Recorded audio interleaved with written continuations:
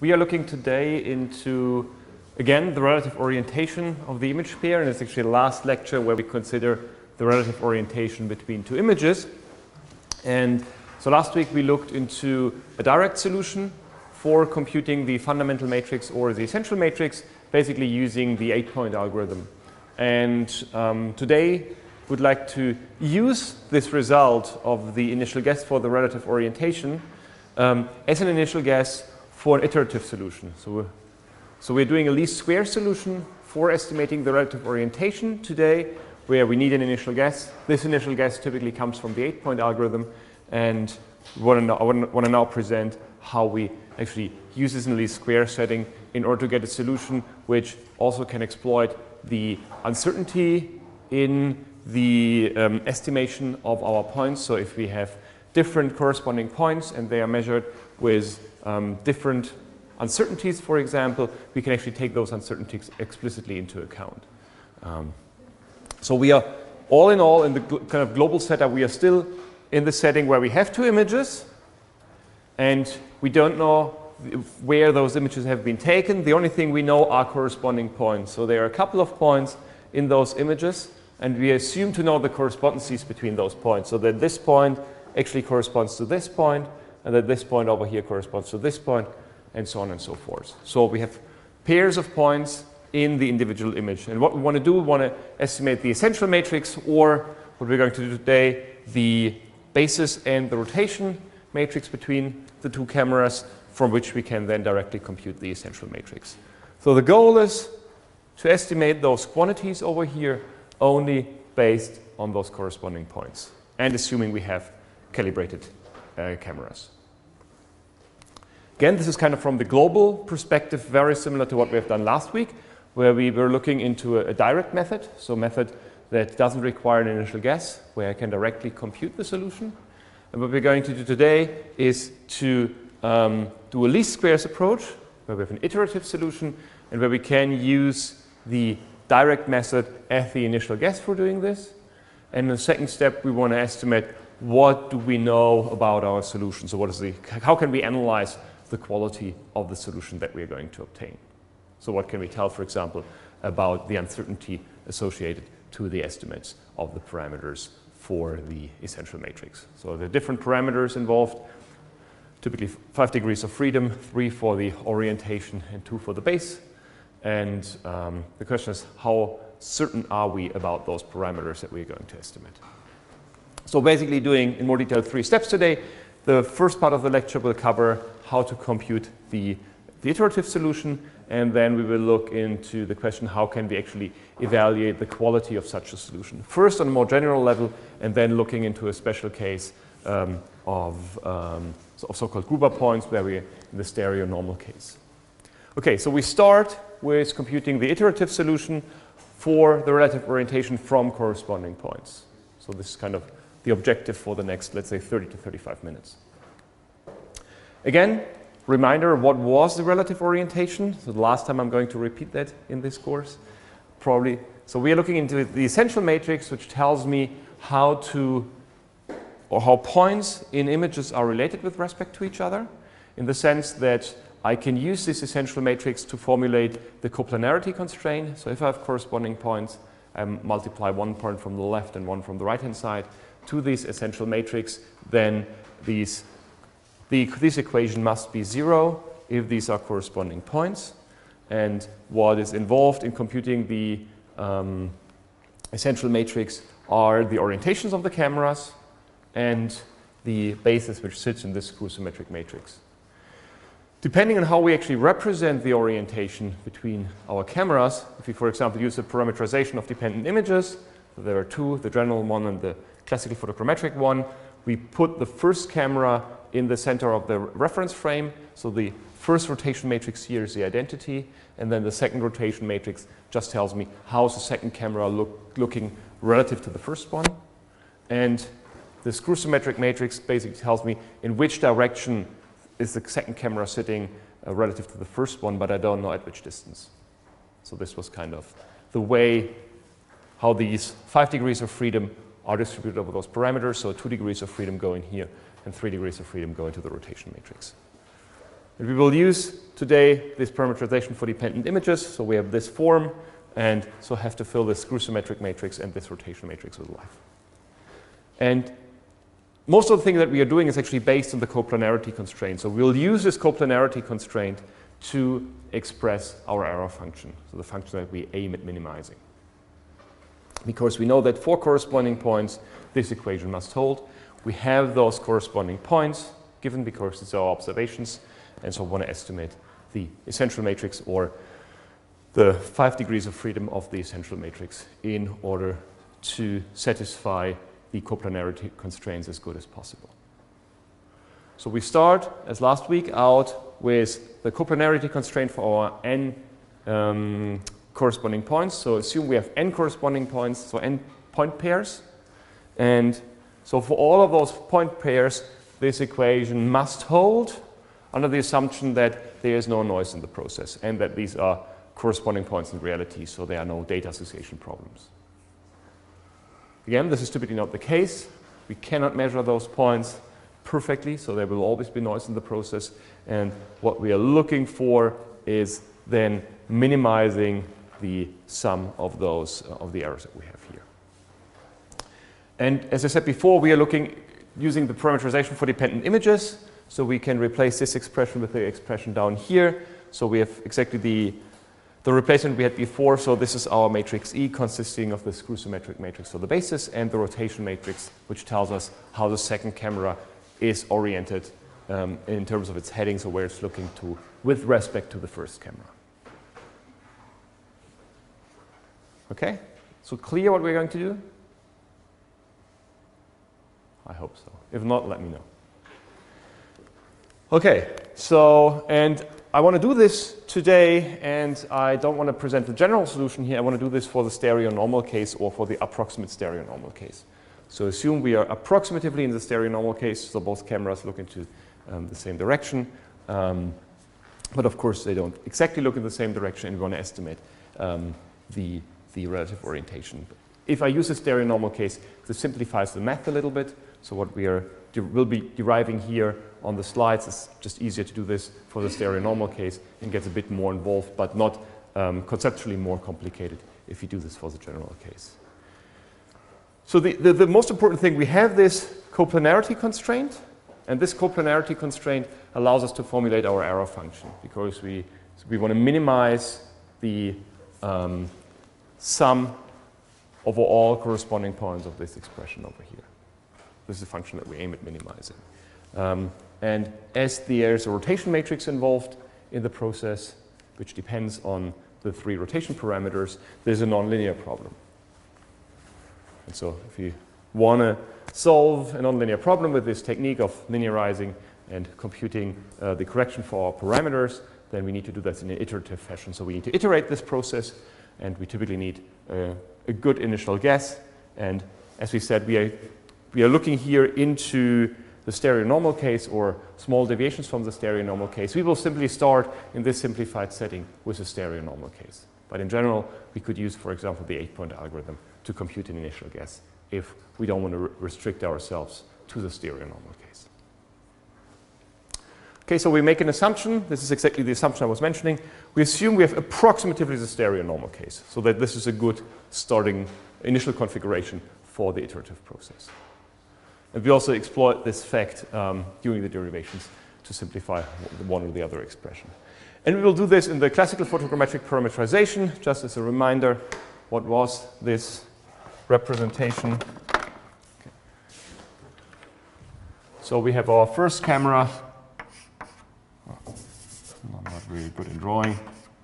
So where the first camera is looking to, and along the x direction, we have the second camera sitting over here. Not perfectly, not exactly stereo normal case, roughly stereo normal case. And um, so we have one rotation matrix over here. And the second thing is we have the, the, the base vector and the classical photogrammetric representation was making the assumption that the x component is constant. So the uh, bx was constant. And then that means we typically, if we have small deviations from the stereo normal case, we have small deviations in um, by, and bz. So they are, they are probably small, and this is probably not too far away from the identity matrix. Okay? Okay, so in terms of problem definition, we want to estimate the, the basis and the rotation matrix. We are approximately in the stereo normal case.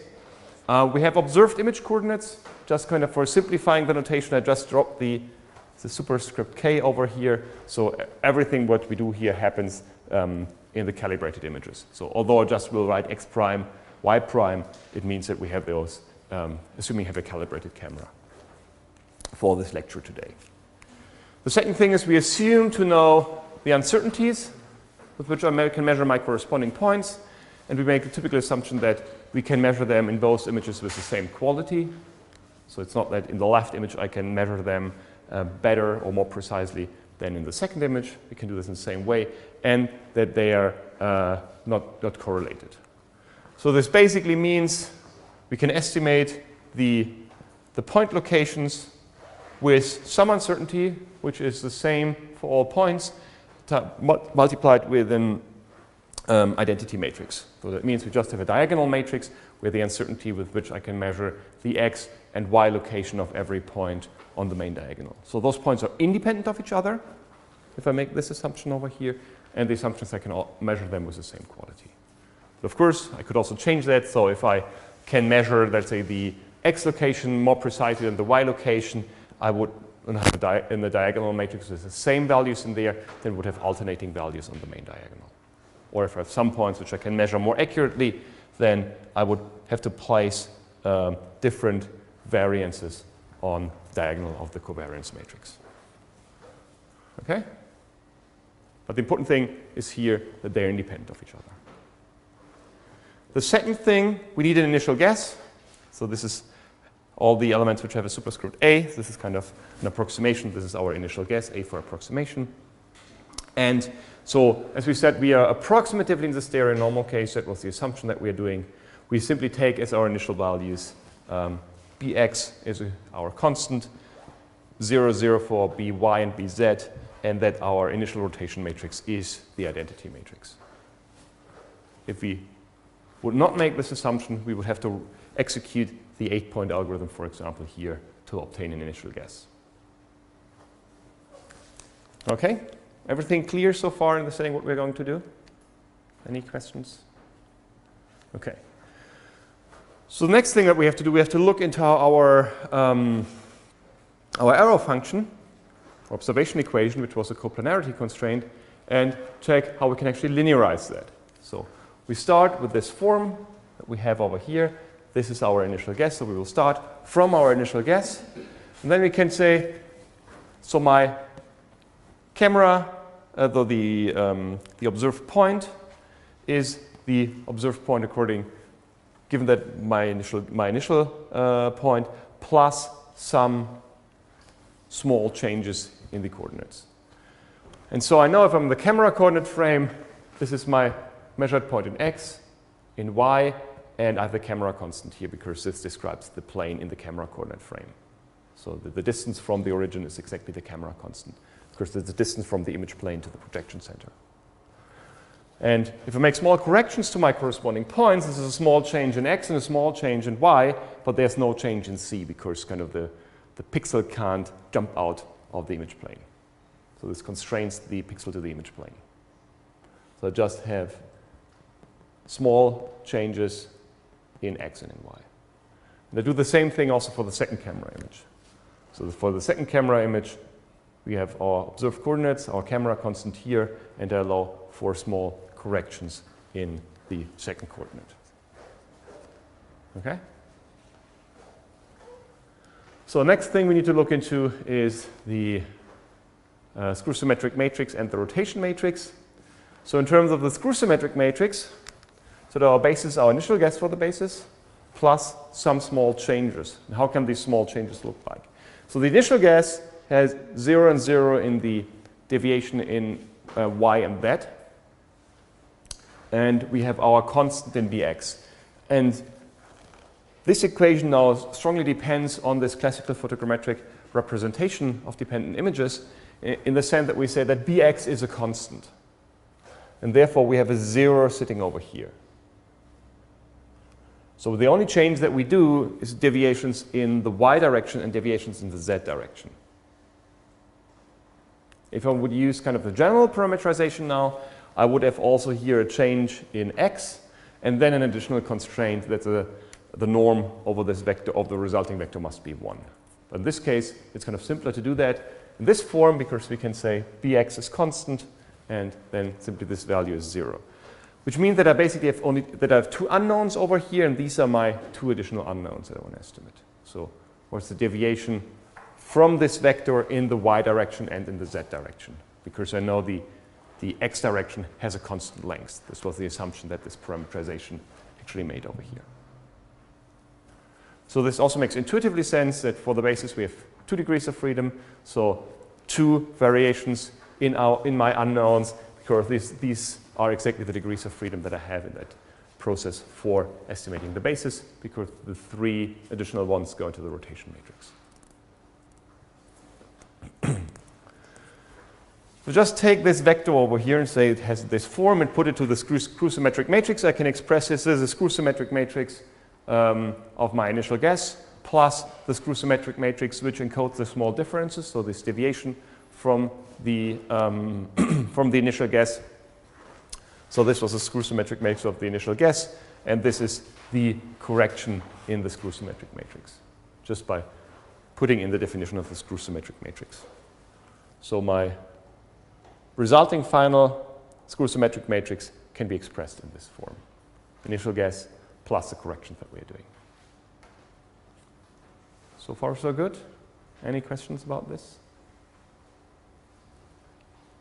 Okay. We have this simple form that dependency on bx here of bz and by and no dependency on bx here only because of this classical photogrammetric representation. Okay, then we have to look into the uh, rotation and the rotation is the part where we have our nonlinearities because we have the rotation matrix um, which is a nonlinear function. We said here our rotation matrix is again a sum of a rotation matrix of the initial guess plus some small increments. This was the um, identity matrix, so the identity matrix over here, plus a small update in the rotation, and this is kind of the linearized form of the rotation, how the three rotation angles are updated for small rotations. Again, this makes the assumption that we have our, the, the identity is our initial guess, and we have small deviations from the identity.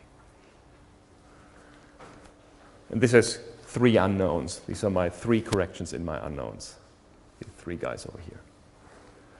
I can now use this to actually formulate the coplanarity constraint, everything we did, by saying I have the parameter in as the, the observations in X. I have my screw symmetric matrix in Bx, By, Bz assuming that Bz and By are only small increments. And I have my rotation matrix over here, assuming that I have only small deviations from the identity matrix. Multiplied with the um, second, the, the, coordinates of the image, the, the, the coordinates of the point in the second image, and this has to be zero. This was my coplanarity constraint for, uh, for the approximate stereonormal case, so approximatively stereonormal. Now I can use all the delta increments to compute the linearized form of this equation. So this was my original coplanarity constraint. I can now write down the linearized form of that. So what I have is I have the coplanarity constraint for my initial guess. So all quantities have the A for initial guess over here. And then I have the four other terms where I have the, the, the small increments taken into account in the first image coordinate, so dx prime over here, dx double prime over here, and the second one. The rest is basically copy paste from the first line. the change in the baseline and the change in the rotation matrix sitting over here. Okay? Just taking our original nonlinear function and turning it into this linear form over here. And so especially the dr, the function dr now does not depend on sine and cosine anymore. So it's nonlinear because it's a linearized form. Okay? Okay, now we just take this equation and expand it all the individual expression. This kind of now blows up to a very large equation. It looks like something like this, but it's not at all complicated. It's just a direct replace of what we had before. So let's start with the first line. So this line over here. This corresponds to this first line. So we have x, y, and the camera constant here. So this was the original, original measured corresponding point in the first image. And in the second image correspondingly here. And for the initial guess, we had our screw symmetric matrix, which has no deviation in y and no deviation in z, only bx. So this screw symmetric matrix only contains bx, nothing else. And our rotation matrix was the identity matrix, the initial guess. So this guy here was the identity matrix, so the identity matrix can be omitted over here. So this first line represents to this line over here. The second line is basically a copy paste from the first line, except that we now take the small deviations in x into account here, and this is exactly this equation over here. So here we have the corrections in the x and y coordinate of the first point. So this was the normal case. This was the change in x. Here we have the change in x double prime. The rest stays the same. Change in the double prime. Here we have the change in the screw symmetric, matrix, screw symmetric matrix. This expression over here. Again, this all are identity matrices, therefore they are omitted over here. So this is a change in SB. And finally, we have the change in the rotation matrix, which goes in here. So this is the only line we have these two, two matrices in here. So this is the change in R. What we've done, we've just expanded this equation with its definitions. And what I now have to do is, or what I will do, we have to actually compute all those expressions over here. So I can start with that,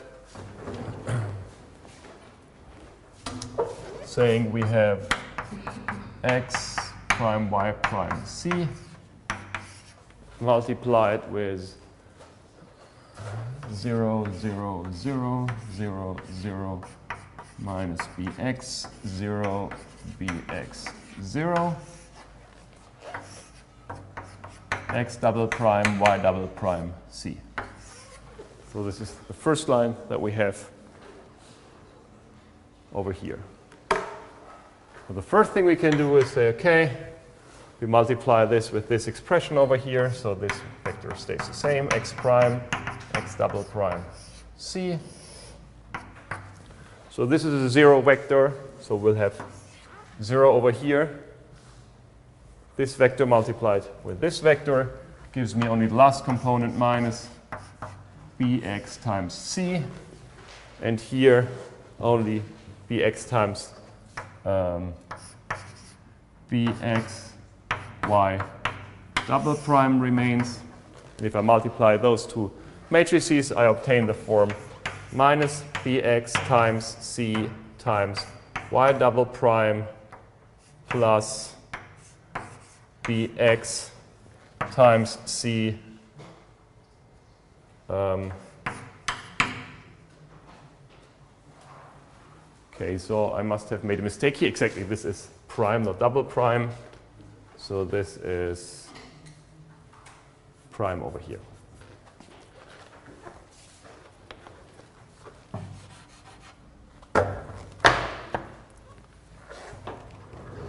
So I can rewrite this in the form this is bxc of y double prime minus y prime.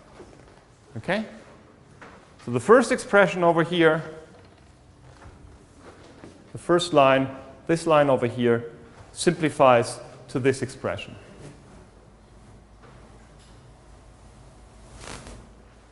What I now will do, I will do exactly the same steps the second line, third line, fourth line, and fifth line.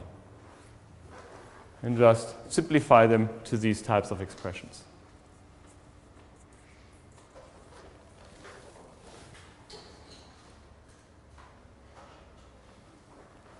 Okay? If I do this, I actually end up in this simpler form. So you see the first line over here is exactly what I had written here on the blackboard. And I get similar expressions for the other. For the second line, it's easy to see. The only thing we changed, um, the only thing which changes here is the change in um, in dy. And if I combine this with the next expression, that are groups those which depend only on the differences in y, I can build up these equations. Okay, so if I have this form, the simplified form, this expression in the bracket is actually the parallax in y. The second line is actually the correction of the parallax in y. This guy's over here is a parallax in x, so I can express this as the x parallax px. Here, I can't do the simplification that easily. The only thing that I can do is I say, okay, assume that I'm in the stereo normal case, or approximately the stereo normal case. I know that the parallax here should actually be zero, because this was the constraint of the stereo normal case. So x prime and x double prime, uh, y prime, sorry, y prime and y double prime should be approximately zero. Uh, the same, not zero, sorry, the same.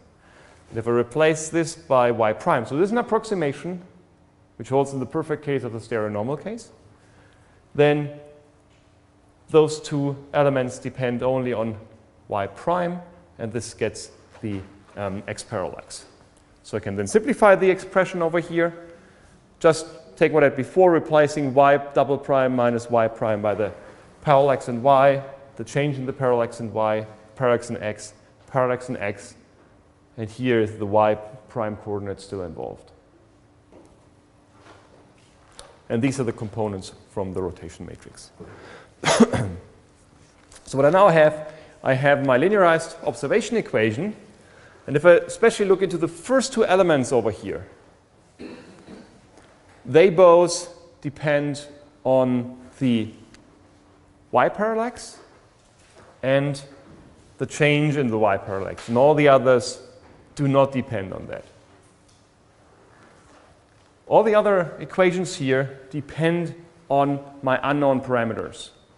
So B, the change in by is an unknown parameter, the change in bz is an unknown parameter, um, and the changes in the angles I have in here. So this kind of one, two, and three. So now can, what I can actually do is I can, in this equation, move these two blocks on the other side and divide by c times bx. So I divide this expression by c times bx and move these two elements to the other side. And then this equation will actually have a simplified form, and you may recognize this form again. So what I have in here is py plus dpy, just by moving those two elements on the other side and dividing by c times, c times bx, the whole expression. And so what you have actually in here are our observation in the Gauss-Markov model for that. So this is the, the parallax in y, what I'm looking into. So how much do the corresponding points deviate in y, because this is the error or the observation from the coplanarity constraint, it should be zero.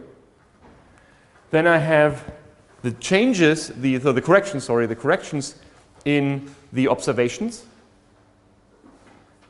And this should be equal to some equation which depends on my unknown parameters, my five unknown parameters, one, two, three, four, and five.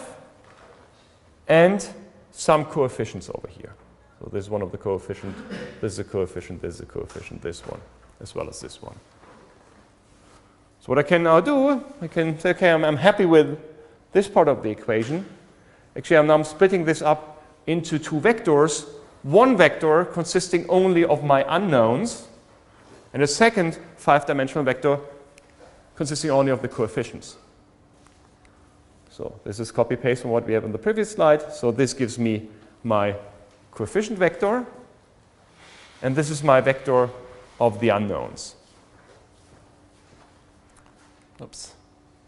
So what I in the end have, I have my vector of unknowns, or corrections of the unknowns.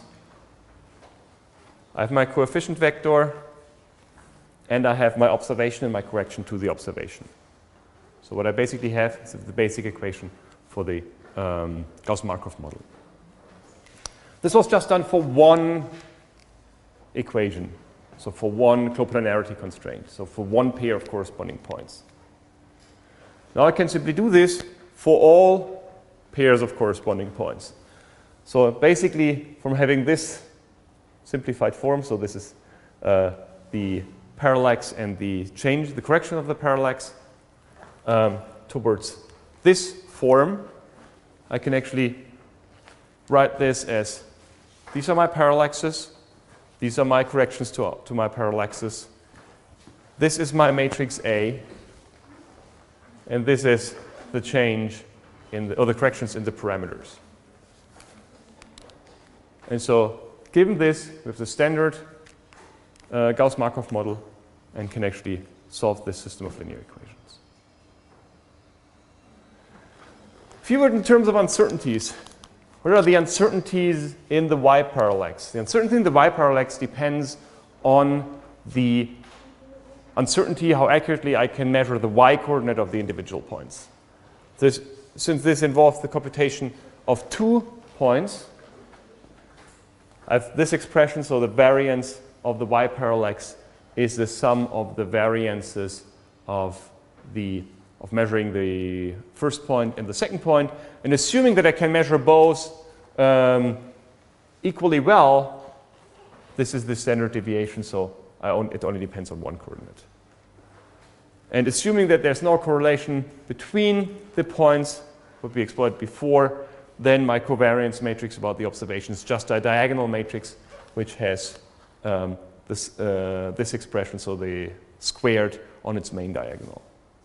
So it's a the important thing is, so this is an n by n diagonal matrix because we have n, have n observations over here. Okay? So we then put everything together, my system of normal equations. Um, we have this form, move this to the other side, and then obtain for the parameter corrections this expression over here, just consisting of my uh, matrix A or the Jacob, which is also known as the Jacobian.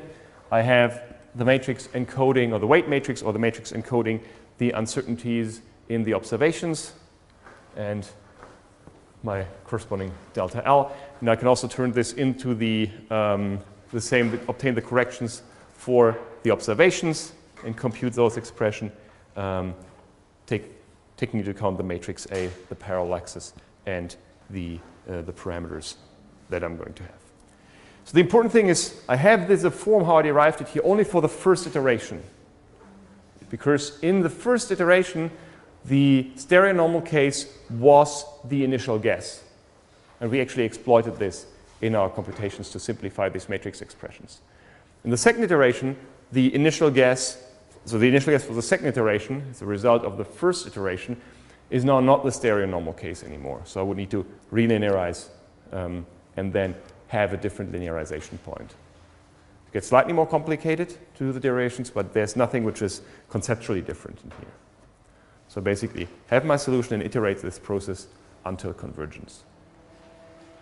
And if I do this, I obtain the, uh, the corresponding corrections for my parameters and for my observations. So in the end, I can estimate the relative orientation through the corrections of the parameters by iterating this process. So in the end, represented here in the last 35 minutes is an iterative approach for estimating the relative orientation using the standard least squares approach. We did that for calibrated cameras, for known corresponding points, assuming that we are not too far away from the stereo normal case. We used this to, for, the, for the linearization to simplify the expressions that we used in here.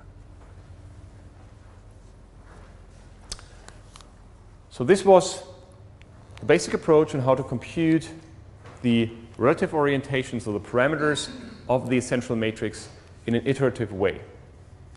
For the stereo normal case, but um, it's not dramatically more complicated in the general case. Are there up to this point any questions about this process over here?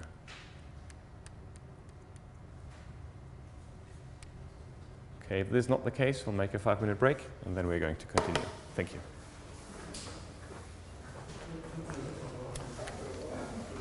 Okay, so in the second part today, we want to look into what is actually the quality of our result or how good is our solution. We'll first do this slightly more general discussion and then um, do this concretely for the problem that we have been investigated here with a special setup of points in the environment.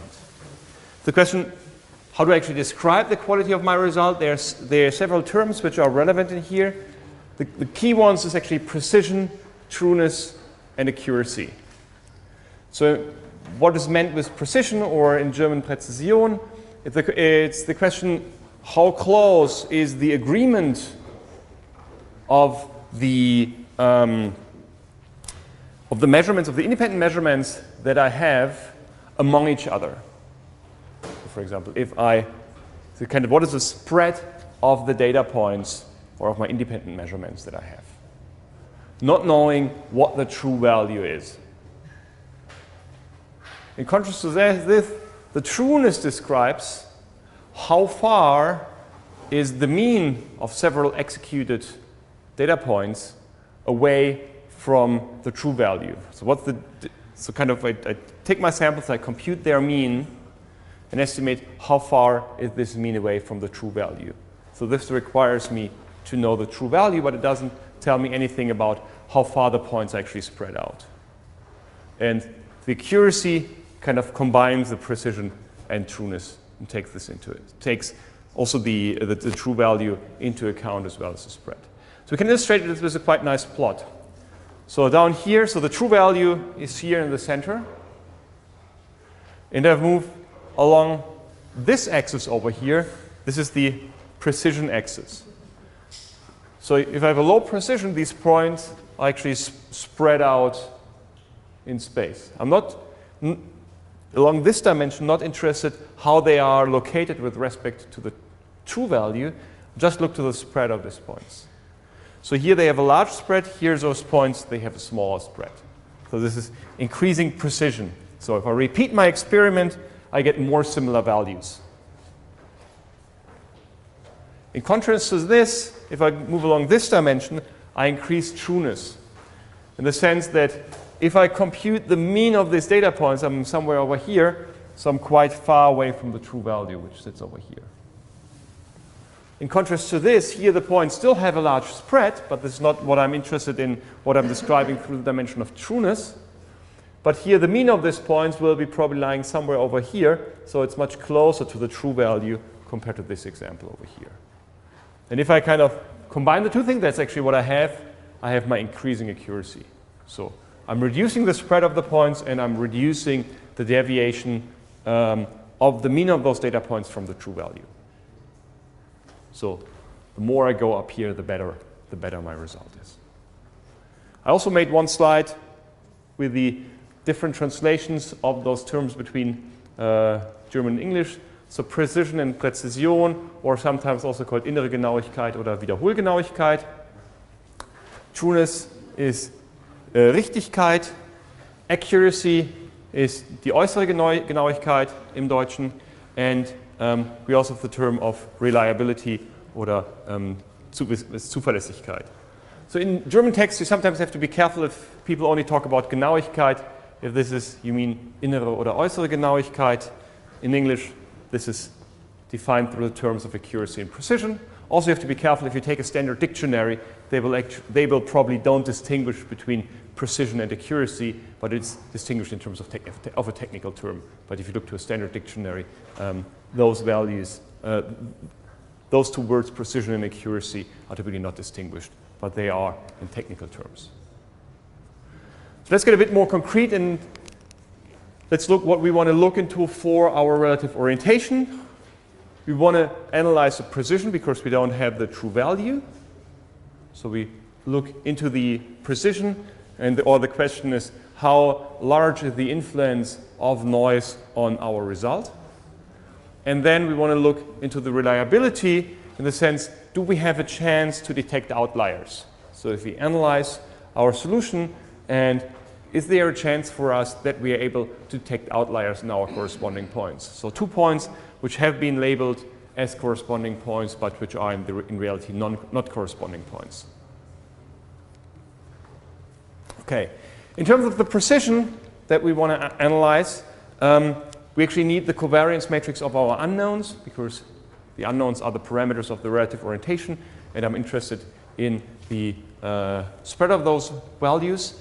And there are two terms. The one is the theoretical precision, and the second one is the empirical precision. The theoretical precision I get directly um, from my model taking into account my Jacobian um, and the inverse of the covariance matrix of the um, uncertainties of the observations. So the kind of the information matrix of my observations um, in this form, and this gives me the theoretical precision.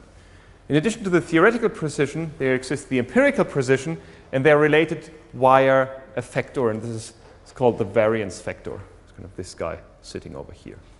And in the perfect world, this variance factor is 1, and my empirical precision is my theoretical precision. But in reality, I often have values where this term deviates from 1, and this is typically due to the fact that my model doesn't perfectly match what happens in the real world. Or the uncertainties that I assumed on how accurately I can actually locate a point in my image was actually wrong. So I made wrong assumptions about the world, and this is often shown through this different variance factor. So what does the variance factor look like? The variance factor is given by this um, expression over here. It consists of this term omega, which is the weighted uh, sum of the squared corrections of the parallaxes that I have. So my corrections in my observations, taking into account the uncertainty of the observations and the redundancy. And the redundancy is simply the number of corresponding points that I have minus the unknowns that I have. So if the number of unknowns uh, equals the number um, uh, the, the number of corresponding points that I have, I can typically obtain a unique solution for my, um, for my problem because I have the same number of unknowns than equations, but, but I typically have um, r is larger than 1, then I need my least squares approach to find the solution which minimizes the, the overall error. So this way I can actually compute my um, variance factor, and I can, can also use this to actually tune the uh, matrix, which tells me, or this matrix over here, this is just because I'm in diagonal form, um, this matrix over here to estimate how accurately can I actually localize a point in an image, assuming that all other assumptions that I made are actually correct. So once I then have this matrix for the um, estimated or the empirical precision given by the variance factor, just expanded with the term on the side, and the theoretical precision over here, I can then look to the individual elements along the diagonal of this, um, of this matrix. And this, so this is a 5 by 5 matrix, which then tells me something about the uncertainty associated to my estimate the deviation of the basis in y, in z the second dimension, and third to fifth dimension refers to the um, parameters of the rotation. So if I compute this expression over here, I have an empirical estimate of the precision of the individual values that I have. It requires me to invert this expression over here. So for a large system, this can be computationally um, complex, so computationally expensive, but as is a 5 by, uh, 5 by 5 matrix, this is not the problem um, over here. Okay? The next thing I may want to look into is the correlation of the parameters that I have in here.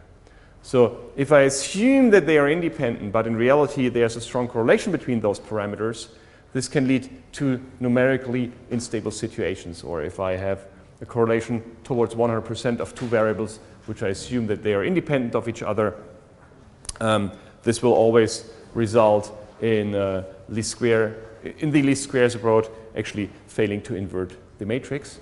And if there's values which are close to one, but I assume them to be independent, then I can run into um, numerically, uh, numerical instabilities of my solution. So this can be used as a check to see if I have parameters which are strongly correlated, although I assumed them to be independent of each other. The next thing I want to look into is the reliability, and so this was the question, um, how well does my setup allow me to estimate um, if a point is an outlier or not? And so I'm taking into account the covariance matrix of my corrections and see if I have a correction which is much larger than the variance that I'm expecting this correction to be. So I have one correction, which, one observation which requires a very, very, very large correction, much larger than the um, covariance matrix here associated to it, or the variance associated to it, is a good indicator that this is um, an outlier. But the question is, or what the redundancy components that we will, do, will, will see now actually allow me to do is to estimate how large is the, um, how well do the, is a change in the components, or there's a direct relation between how well I can estimate if, an, if a data point is an outlier because it tells me the, the impact that it has on the corrections. So the redundancy components are defined as the variance of uh, my Vn, so these are the, uh, of, the, of the corrections and divided through the observations. So this term um, is always smaller than this term or equal. You can see this in this expression. Um, so as I'm subtracting this value over here, this guy is always smaller than this guy. If I break this down, this gives me then values between 0 and 1. So I have redundancy components for the individual corresponding points, which take values between 0 and 1. And if I sum all of them up, I actually obtain my redundancy value. So this tells me actually what is the, um, how I actually can split up the, the overall redundancy on my individual observations. Okay, so what the redundancy components actually tell me the fraction of the original error we see in the residual of the parallaxes. So the Vn were the corrections of our parallaxes um, after the adjustment. So of, of, this direct relation over here, um, and so, for example, if I have for a value a very small redundancy component, so small means something close to zero, let's say 0, 0, 5. And um, I have an error in terms of 40 pixels over here. So this is an error of, let's say, 40 pixels and a, a, very small redundancy component. This will lead to a correction or an adjustment, which is very small. In this case would be 40 pixels times 0, 0, 5, so 2 pixels. So if I have a small redundancy component, I don't see an effect of this outlier, how strong the outlier um, affects the corrections. On the other hand, if I have a large redundancy component, so a value which is close to 1, then an error in the observation will lead to a very, very large correction in my parallaxes, which is an indicator that something went wrong if I relate this then to the expected uncertainty that I have. So it tells me kind of how, how large is the effect of, an, of the observation that is visible in the change in parallaxes. So if the values are large, I actually have a chance to observe that. If this is small, um, there's no chance for me to observe that here. You can go a bit more concrete and now look to our um, to the solution that we computed before, the relative orientation for the stereo normal case, and analyze the result of that. And one typically does this um, based on something which are called um, Gruber points. So um, Otto von Gruber um, did this work in the 1930s for, he worked in aerial photography. And so you have two images over here. They have an overlap, in this case of approximately 60%. And um, we have six points. So those points all, they're just, they basically sit here at the border of the images, just drawn a little bit to the inside in order to, for better visibility. So I have here, the, they have the distance b, the, the base in the image, and kind of the distance is half the size of the image that I have. And so these are kind of the overlap of those images, and these are the observations that I would get in those images. The question is based on these points, how accurately can I actually estimate the relative orientation of, um, in the stereo normal case, given this approach. So these six Gruber points, I assume identical uns uh, uncertainties in the y parallaxes, so I can estimate the difference in the y coordinate in the left and the right image in, with, the, with the same accuracy. And the basis in the real world is basically given by the image scale and the basis in the image. So this is kind of the basis in the image that I have, assuming I'm in the stereo normal case. Um, and so this basis in the image for the standard aerial photography analog films, 33 by 33 centimeters, would result in 9.2 centimeters because 9.2 is 40% of the size of the image is what I moved in order to get a 60% overlap. So I kind of move 40% of the image size in order to get a 60% overlap. So my Vx is 9.2 centimeters over here, which gives me the overlap of 60%, and I have these six points. The first thing I now do is I have to determine the coordinate coordinates of these points. This can be done actually quite simple. So I have my first image and my second image. So this is the center of the coordinate frame of the first image and this one of the second image. So the first point, this point over here, will have the coordinate 0, 0 in the first image and minus b 0 in the second image. Okay? And then you can do this for the third, fourth, fifth, and so on. And the only parameters that obtain are the b and the d in there. So what I now can do is I can take the um, coefficient matrix that I had from my system of linear equations and those values were actually dependent on some of those parameters over here. So I can actually add those values into this e equation. If I do this, so I have this, this expression for every line, so for the first corresponding point, second, third, fourth, fifth, sixth point. I put those values in here, and this gives me my coefficient matrix. So for example, um, for the first point, y prime was 0, y prime was 0, and therefore this element actually cancels out.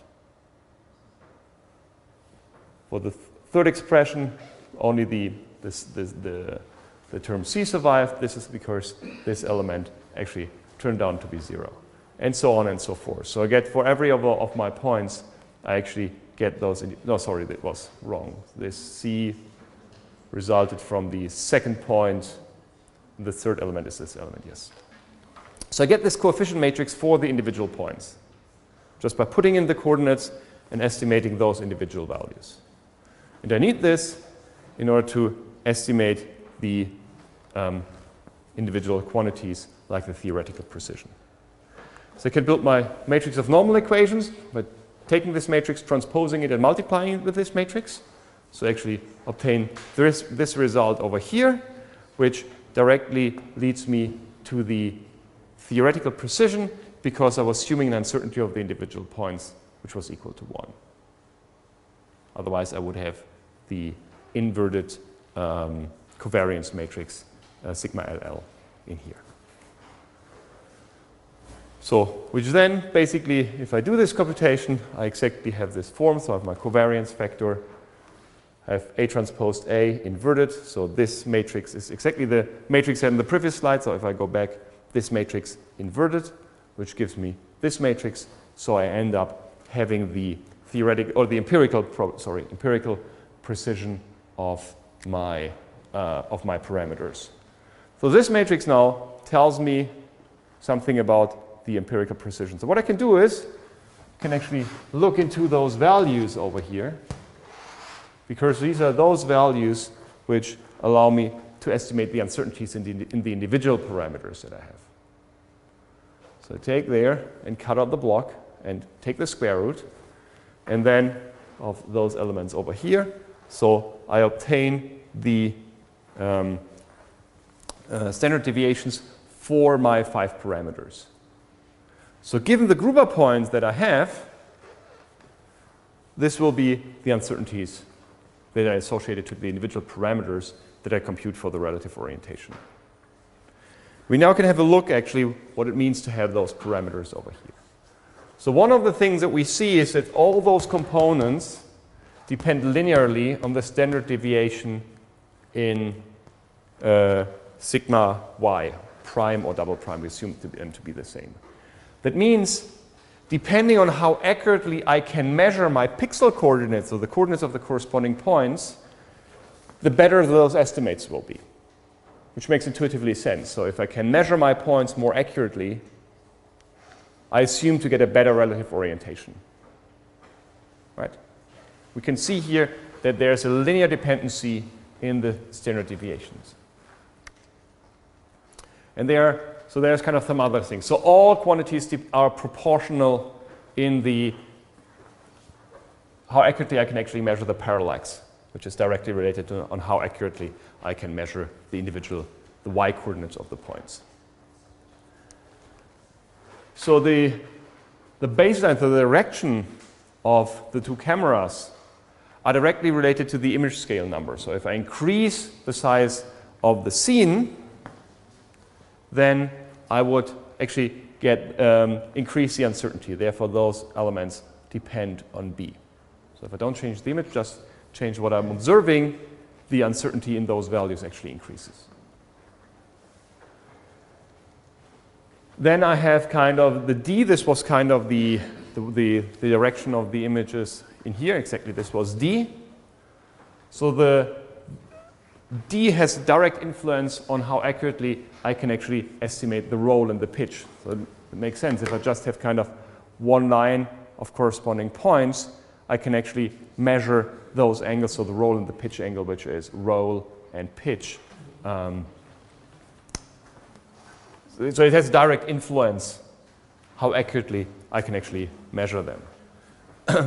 and the larger the overlap is of the images, so the larger B is, the, the B sitting down here, the better the, my estimates typically get. So the larger my overlap is in the images, um, actually the better my, the results that I obtain. So these are kind of the important elements in order to knowing which of the parameters influence in which way the precision of my parameters. So depending on the setup of the points that I have, I can estimate certain parameters more accurately or less accurately. Okay, the next thing we want to look into is the reliability.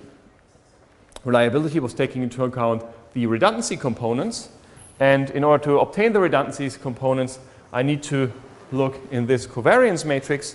And um, as we assumed the, um, the standard deviation to be 1, I just basically divide through 1 and I can just take those elements on the main diagonal. So if I take those values on the main diagonal of these of the Gruber points, I actually see that for two of those points, this, and these are the for the points 1 and 2.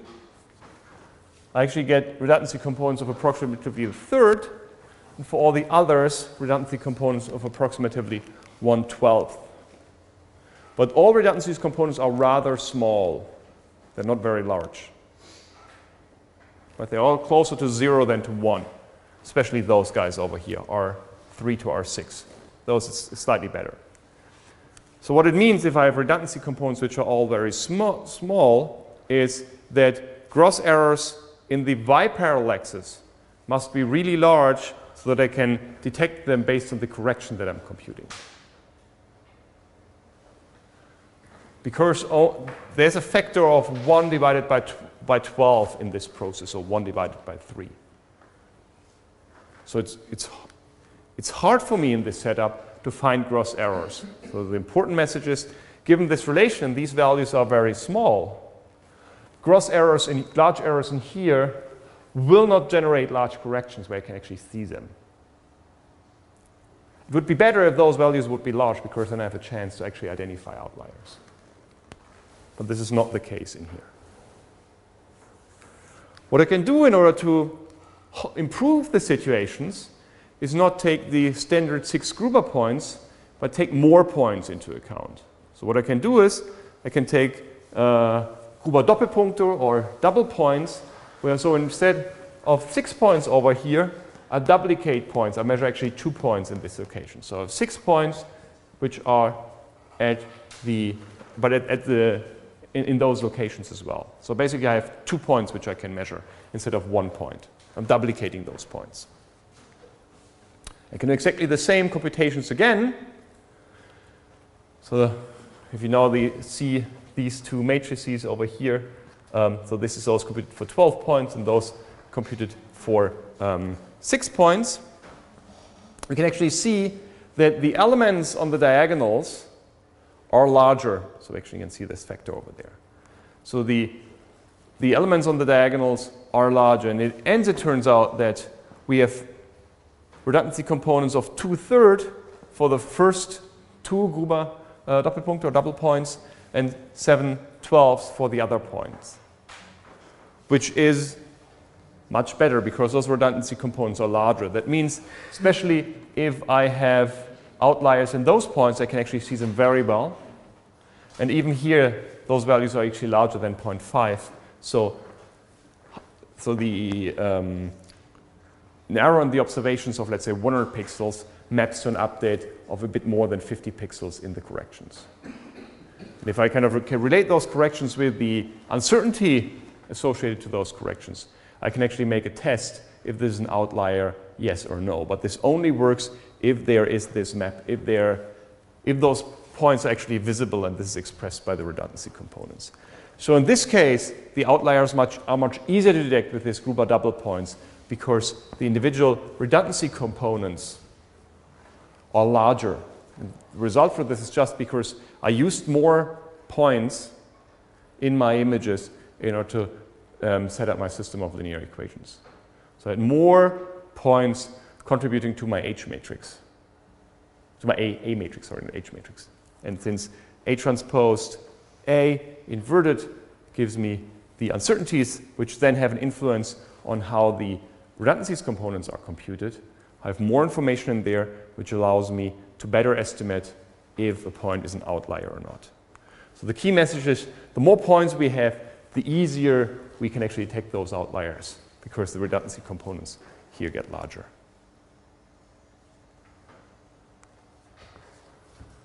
Okay, um, in terms of what have we learned in terms of the analysis of the, of the precision or the quality of our solution, especially look into the precision.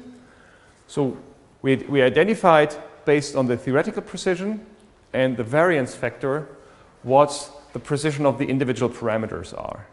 And the, individual, the precision of the individual parameters depends on certain properties in my image, like how accurately can I measure the y coordinates of my pixels. So y coordinates because we're in the stereo normal case, and this is the parallax that matters in the y direction. Also that the base depends on the image scale in a linear way. Then we have dependencies of these D and B, so the, the overlap that we have um, in the image and the coordinates in the, other, in the direction orthogonal to that. Has a different influence on the different parameters, your patron role, and the two parameters for the baseline. And we have also seen that um, in order to detect outliers, we want to have large redundancy components. And if I have a small number of points, like with these six Gruber points, the redundancy components are small, so more towards zero. And this means it's hard for us to detect those outliers. If those redundancy components are larger, which we can obtain by, for example, user, using the Gruber double points, so using more points in the environment, we, we increase the values of those redundancy components and then have a better chance to estimate, to detect outliers because we know that an error in the observation directly maps into the corrections of those observations. This is the only way for me where I can actually see those large errors. If I relate them to the uncertainty that uh, to the yes, uncertainty that they are supposed to have. Again, this is also, you find the more information on that in, in Wolfgang's script or in the book, um, or most of the things I have told you, you should have probably seen also in uh, Professor Schuh's lecture on Statistik und Ausgleichungsrechnung. Um, so what's the theoretical precision, empirical precision you should have, should have seen there as well. Um, I'm not sure, has he done the things with the redundancy components as well? Or what is the first time that you see that? Okay. Okay. So then, thank you very much for your attention, and we see each other next week, not here in the lecture, but on the excursion, and then we continue with the regular lecture in two weeks. Thank you very much.